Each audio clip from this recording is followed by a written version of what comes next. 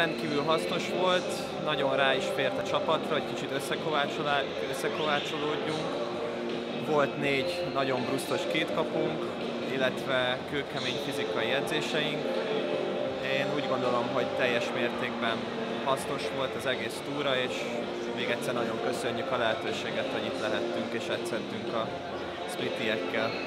A Jadran Splittel és a Molnár Splittel voltak közös edzéseink.